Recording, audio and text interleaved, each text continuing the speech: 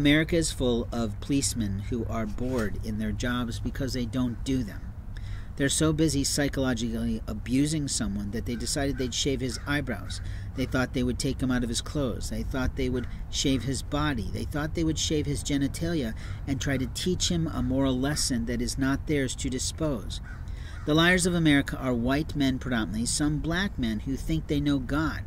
And if they knew God, then they would know that God is not pleased with them at all. We now have a time of COVID. Why did that happen? Was it because God said, Enough with you men? Enough with your lies. Enough with your silliness. Enough playing God. You see, the president, Lord Biden, wants to have the police officers take that chance, that Russian roulette. And maybe it's his way to equalize America, to get rid of, well, the stench. The stench from a police force is always available to us because now they're abusing the American flag. The abuse of the American flag is an abomination to the Lord. I've been told this now many, many times through my gifts of Oracle of Old. There are people who don't like the word psychic, like Theresa Caputo. She prefers medium. I prefer channel. Channel is important. Oracle cards are important. Finding God's love is important. Doing God's word is somewhat important. You see, evangelizing the world is talking about God's love. It's not using God's word to abuse people psychologically, emotionally, physically, or sexually. Your failure is to recognize that you are failing God. You put yourself above a human being as if you're a God or a slave master. You're not. There is no master slave owner to America other than the Lord Most High.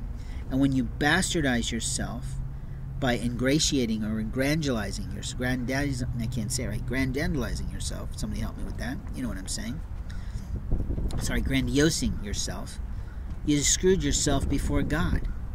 How many times do we have to talk about this in a pagan sermon for you to get this? That my property bags belong to me, little shit Spanish man and openly it must be you because you're the only one out pissing on me. The liars of America play white, black, and indifferent. And I hate to tell you this, but you're standing before God in everything you do today. You're lying to yourself about who you are to your crew today. You're a motherfucking father who can't even take care of his own children.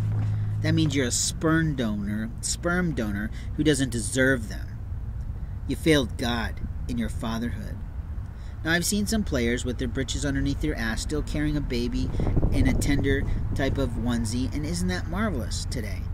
That we have many fashionable men across America. That's great. If you're a provider for the family, if you're a lover of your son, if you're a parent teaching him how to be number one, not in the world, but in his own life, then okay. But if you're teaching that son to be a liar, a thief, a champion of grief, then you failed God in every way.